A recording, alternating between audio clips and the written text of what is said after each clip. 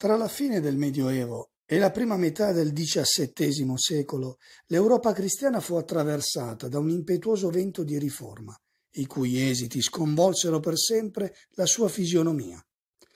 Era convinzione diffusa che la Chiesa e le sue strutture, così come la dottrina e la pratica religiosa, dovessero essere riformate e anche che il clero andasse moralizzato. Dobbiamo però capire cosa si intendeva esattamente a quei tempi con il termine riforma.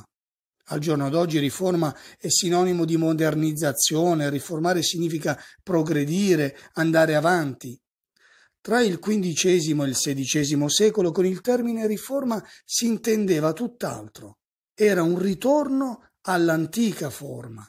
Riformare significava sì migliorare, ma purificando, sfrondando il cristianesimo da tutte quelle incrostazioni che nel corso dei secoli l'avevano modificato e reso quasi irriconoscibile.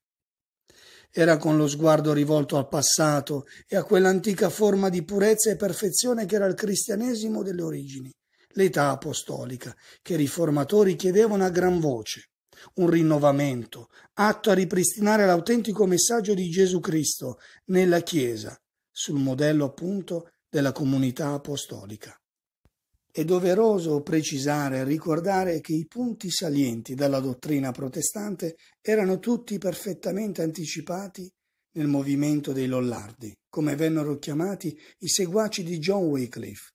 Al concilio di Costanza le sue dottrine furono ufficialmente riconosciute come eretiche dai papisti e fonte di ispirazione di un altro grande riformatore, il boemo Jan Hus.